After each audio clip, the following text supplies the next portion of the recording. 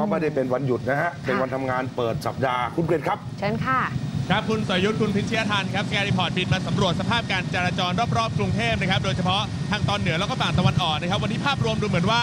รถหายไปจากผิวจราจรเนี่ยหลายแสนคันนะครับ ไม่ว่าจะเป็นจอดหรือว่าจะจมน้ำหรือว่าเลี่ยงไม่เอาออกจากบ้านนะครับพื้นผิวจราจรวันนี้นะครับสภาพการจราจรในหลาย ๆ จุดครับไม่ว่าจะเป็นทางด่วนนะครับทางยกระดับตรงเอ่อ ทางด่วนสีรัฐนั้นรถก็โล่งนะครับดินแดงรถก็โล่งโทเวก็ยังโล่งนะครับ รวมไปถึงตอนนี้เนี่ยจะไปแออัดกันอยู่ที่แยกประชานุกูลบนทางยกระดับนะครับ วันนี้หลายเส้นทางใช้การไม่ได้ หลายคนก็เลยเลือกที่จะไม่ใช้รถนะครับ และวันนี้จะพามาดูครับว่าเช้าวันนี้ หัวน้ำทางตอนเหนือของกรุงเทพมหานคร ที่น้ำไหลมาจากทางดอนเมืองนะครับ เลยห้าแยกลาดพร้าวผ่าน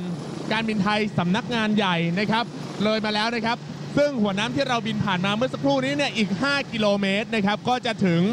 บริเวณแยกดินแดงแล้วนะครับ เดี๋ยวถ้าเรากลับเครื่องไปก็จะเห็นว่าผิวจราจรบนถนนวิภาวดีรังสิตตอนนี้เนี่ยนะครับเอ่อเต็มไปด้วยผิวน้ำแล้วรถเล็กนั้นไม่มีไม่สามารถสัญจรได้แล้วนะครับ เดี๋ยวเราจะกลับหลังหันลองกลับลองกลับเครื่องดูนะครับ ถ้าถ้ากลับด้านเนี่ยเราจะเห็นเลยว่าตอนนี้น้ำมุ่งหน้าไปยังดินแดงแล้วนะครับ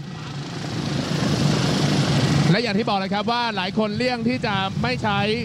รถยนต์นะครับทำให้ปริมาณรถบนพื้นผิวถนนนั้นหายไป กรุงเทพมหานครในตอนเช้าก็จะเปลี่ยนแปลงไปแล้ว เพราะว่าการจราจรนั้นไม่ติดขัดด้านล่างจะเห็นนะครับว่าบริเวณหน้า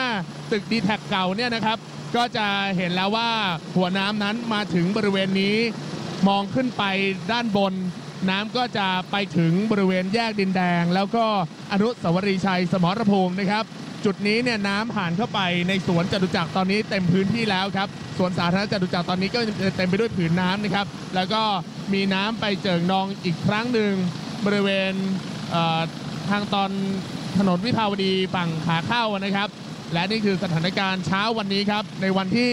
ทุกคนออกไปทำงาน แต่ว่าไม่สามารถที่จะใช้รถในการสัญจรไปมาได้นะครับ และพื้นที่หัวน้ำ อย่างภาพล่าสุดในเช้าวันนี้ก็คือที่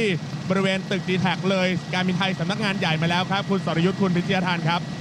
ขอบคุณครับคุณเกรนครับนี่